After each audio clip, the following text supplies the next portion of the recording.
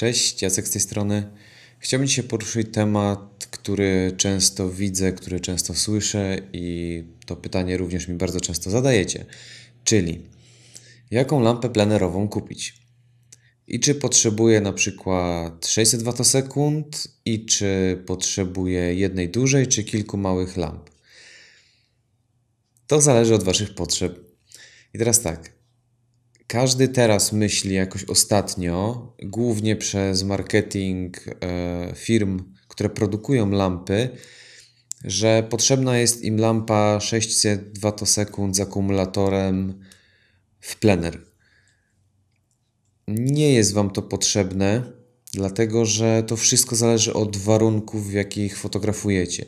Jeżeli chcecie przebić słońce w jasny dzień, ok, potrzebujecie około 600 Wh, ale jeżeli robicie klasyczne portrety i możecie na przykład się schować w cieniu, to czasem zdziwilibyście się, że lampka reporterska mała jest w stanie da dać Wam wystarczającą ilość światła do stworzenia miękkiego oświetlenia dodatkowego w portrecie z równoczesnym przygaszeniem światła zastanego, czyli wejściem na przykład w jedną dwutysięczną w HSS. Chodzi tutaj o wybranie, o wybranie pory dnia, o sposób w jaki fotografujecie i czy jesteście w stanie narzucić powiedzmy na sesji ten konkret, tę konkretną porę dnia albo lokalizację. Dlatego na przykład ja nie lubię wychodzić na zdjęcia w lipcu o 12 w południe, gdzie jest ostre słońce, głównie dlatego, że nie znoszę upału, ale też e, światło nie jest wtedy pochlebne i, i tak wtedy szukam cienia, także nie staram się tutaj jakoś przebić tego nie wiadomo jak słońca.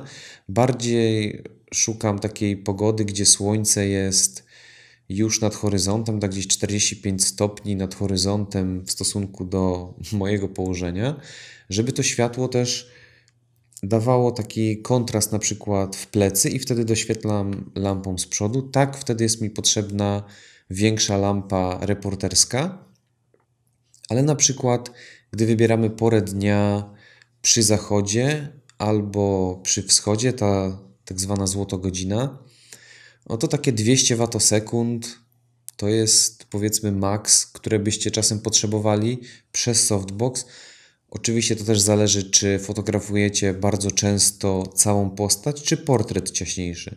Przy ciaśniejszym portrecie możecie softbox wprowadzić bardzo blisko do kadru, a im bliżej źródło światła, tym bardziej wydajne ono się staje według prawa odwrotności kwadratów. Także jeżeli potrzebujecie oświetlić miękkim światłem z dużym softboxem całą postać albo grupę 3-5 osób, Dwie to jest, jeżeli się bardzo kochają, mogą się przytulić. Możecie wtedy softbox bliżej przystawić. Ale jeżeli macie takie wymogi, no to rzeczywiście potrzebujecie jednej dużej lampy mocnej z dużym modyfikatorem 120-150 cm. Powodzenia oczywiście w plenerze z utrzymaniem tego na wietrze. Zabezpieczcie się przed tym, ale wtedy jest Wam potrzebna jedna większa lampa. Jeżeli robicie ciaśniejsze portrety, nawet taki kadr jak mam teraz tutaj nagrywając Was, siebie, nagrywając siebie dla Was, i robicie to w plenerze i nie lubicie na przykład mocno ostrego słońca, tylko lubicie rozmyty jakieś tam kolory kontrastowe troszeczkę w tle i szukacie wtedy cienia, to wystarczy Wam jedna mniejsza lampa, powiedzmy takie 200, 360, maksymalnie 400 Wh z możliwością zjechania do tam 1,256 powiedzmy mocy, 1,128 mocy. Bardzo często powiedzmy, że wystarczy Wam nawet lampa reporterska, jeżeli to będzie później już w trakcie dnia, jeżeli to nie będzie 16 latem czy tam 15, tylko jeżeli to będzie na przykład 13-14 zimą albo dwie godziny przed zachodem. Mała lampa reporterska jest w stanie sobie poradzić w takich warunkach przez parasolkę albo jakiś softbox reporterski. Ok, jeżeli fotografujecie na przykład częściej we wnętrzach i potrzebujecie doświetlić, to lampa mocniejsza może Wam przysprawić troszeczkę kłopotu, dlatego że na przykład jak ja fotografowałem we wnętrzach e, z Kamilem podczas sesji i musiałem podbić bardzo ISO, dlatego że chciałem wydobyć trochę światła zastanego, a to było dosyć ciemne pomieszczenie i miałem tylko i wyłącznie jedną lampę, właśnie 200 Ws w softboxie 120 cm, to nawet na najniższej mocy była ona za mocna i przepalała mi zdjęcia. Także nie jest Wam wtedy potrzebna aż taka duża lampa. Jeżeli fotografujecie bardziej wnętrza, jeżeli macie jakieś pomieszczenia swoje ulubione i tak bardziej przy oknie, a chcecie dodać jakieś akcenty świetlne, to wystarczą Wam małe lampy reporterskie. Teraz jeszcze pytanie, czy lepiej jedną dużą lampę, czy na przykład dwie, trzy mniejsze, e, słabsze i je łączyć. To zależy od typu fotografii, jaki wykonujecie. I teraz, jeżeli robicie głównie plenery i chcecie po prostu doświetlić w plenerze, wystarczy Wam jedna lampa. Jeżeli to jest 90% Waszych zadań, jedna lampa. Jeżeli lubicie kombinować ze światem i dawać akcenty w różnych miejscach, to lepiej byłoby kupić kilka lamp słabszych i je łączyć, jeżeli potrzebujecie więcej mocy, a w momentach, kiedy potrzebujecie więcej źródeł światła, macie więcej lamp. Są mocowania na na przykład 3 lampy reporterskie, a 3 lampy reporterskie, jeżeli połączycie razem, no to daje Wam tak około 300 Ws, około 200 chyba powiedzmy i wtedy macie dosyć mocne źródło światła, które nawet w plenerze sobie poradzi. Ja pewnego razu połączyłem 5 lamp reporterskich w jednym softboxie, z czego dwie pracowały na połowie mocy, także to tak jakby były cztery na pełnej mocy i bez problemu sobie dały radę nawet w jasny, słoneczny dzień. Także jak dla mnie akurat wtedy spoko.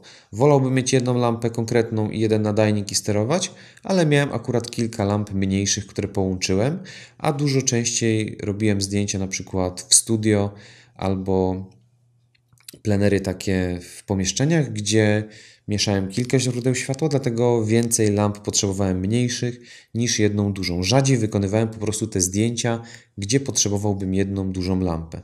Także to wszystko dyktuje Wam sposób, w jaki pracujecie i to, jaki efekt chcecie uzyskać. Jeżeli podobają Wam się zdjęcia, analizujcie zdjęcia po prostu, które Wam się podobają, fotografów, którymi się inspirujecie i wtedy patrzcie, czy to jest jedno źródło światła, czy więcej. Czyli czy jeżeli to na przykład jest plener i jest dodatkowe źródło światła i większość takich zdjęć chcecie robić, no to polecam na przykład wtedy jedną większą lampę i jakiś fajny softbox plenerowy.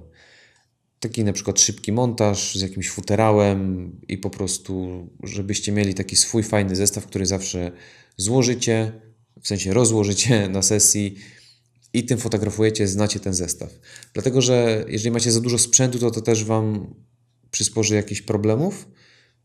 Minimalizm jest tutaj zalecany, dlatego jedna duża lampa 400-600 Ws i jakiś fajny softbox i wtedy oświetlicie powiedzmy takim, ja teraz się oświetlam 65, to jest dla jednej osoby, ewentualnie kontrastowo dla dwóch, taka powiedzmy 105, 120 to są dwie osoby, 120, 150 trochę więcej osób, także to bierzcie pod uwagę.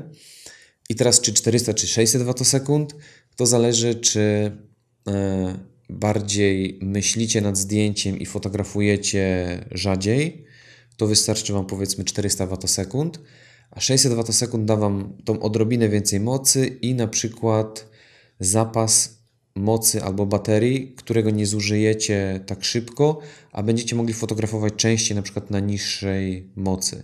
Dlatego na przykład jeżeli fotografujecie na 400 Wh na połowie mocy, no to to jest jedna druga, a na 600 jest to jedna trzecia mocy, dlatego ta lampa szybciej się odświeży, szybciej naładuje, mniej może zeżre akumulator, jeżeli ma akurat w tym modelu większy e, akumulator. Także tutaj widzicie ile jest czynników.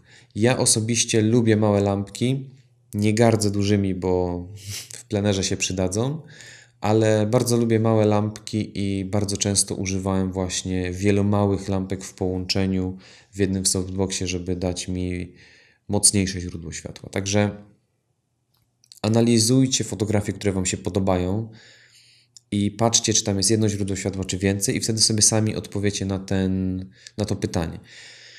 Oczywiście później pozostaje pytanie, jaki producent, jaki model, to już zależy od Was. Ja Wam nie chcę narzucać nigdy konkretnego modelu. Jest ktoś zawsze na rynku, kto góruje, jest bardziej popularny. Są na przykład droższe modele, lepiej wykonane, są tańsze, bardziej budżetowe opcje. Jeżeli szukacie lamp e, w plenerze na niskiej głębi ostrości, na małej głębi ostrości i potrzebujecie HSS-a, są również lampy manualne, które wykorzystują HSS i będą one tańsze. Także są opcje bardziej budżetowe. Musicie po prostu ich poszukać. Ja ich nie chcę wymieniać, dlatego że za rok one się zmienią, ale są czasem lampy manualne wspierające HSS, które w 100% Wam wystarczą. Jeżeli polegacie bardzo na automatyce, jeszcze się nie przyzwyczailiście do tego manualnego ustawienia mocy, no to wtedy potrzebujecie lampy, która wspiera TTL, która za Was błyśnie, za Was pomyśli i przeważnie lampy wspierające TTL wspierają również HSS-a. Jeszcze chyba nie wiem, czy się spotkałem z taką, która by tak nie robiła. Też może zależeć od aparatu. Fajnie jest, jeżeli lampa posiada system radiowy dedykowany, który pozwoli Wam na zdalną kontrolę mocy nad lampą z poziomu aparatu, z poziomu nadajnika. To już oferuje większość producentów. To jaki sposób, jaki model wybierzecie zależy od Was. Jeżeli potrzebujecie konkretnych modeli, że musicie wsunąć jeszcze dodatkową lampę na sanki, no to powiedzmy inni producenci odpadają i zostaje jeden, a jeżeli potrzebujecie tylko czytelnego wyświetlacza dużego z kontrolą grupy i mocy, no to większość producentów już to oferuje. Także patrzcie co jest na rynku, oglądajcie recenzje na moim kanale, przedstawiałem Wam już też kilka lamp w różnym budżecie, będą mam nadzieję kolejne, także bardzo wiele zależy niestety od Was, nikt Wam nie odpowie wprost, co macie kupić, Chyba, że podeślecie komuś konkretne modele i wtedy Wam powie dobre, niedobre, ale to też ta osoba nigdy nie chce brać za to odpowiedzialności. Także na to uważajcie, jeżeli się pytacie kogoś o coś. Ja Wam powiedziałem tyle, co mogłem, żeby pomóc Wam zrozumieć może Wasze potrzeby. Dlatego chciałbym, żebyście Wy przemyśleli to, jakich, jakie zdjęcia Wam się podobają i może jakich wtedy lamp potrzebujecie. Macie jakiś budżet, poszukajcie producentów, określcie się. Także to dużo właśnie zależy od Was, nikt Wam nie powie, co powinniście wyrobić. Jeżeli widzicie u jakiegoś fotografa dany model sprzętu lampy, niekoniecznie to oznacza, że on zawsze tego używa, może ma wypożyczone, może akurat testuje. Tak jak wspomniałem i wspomnę to ostatni raz, dużo zależy od Was. Wy o tym pomyślcie, jeżeli macie jakieś jeszcze pytania, piszcie w komentarzach, postaram się e, na kilka z nich odpowiedzieć, znaczy na większość takich konkretnych odpowiedzieć. Jeżeli coś nie zostało zaadresowane w tym filmie, to też możecie e, napisać. Pamiętajcie, staram, nie, sta, nie będę chciał tutaj wymieniać marek ani modeli, także nie pytajcie się, czy X lampa z Z softboxem będzie ok. Bardziej chodzi mi tutaj o funkcje i na przykład wielkość softboxu. Bo tak jak mówiłem, za 3 lata, za 2 lata to już będzie kompletnie nieaktualne. Także dzięki bardzo za poświęcony Wasz czas.